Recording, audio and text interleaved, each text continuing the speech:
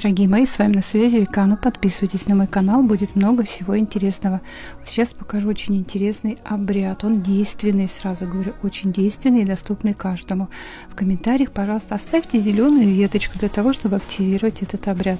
Итак, начинаем. Если что-то вас в жизни мучает, какие-то обстоятельства, либо, ну, мало ли что, негативное, вы чувствуете, вам это мешает жить, вам нужно что сделать?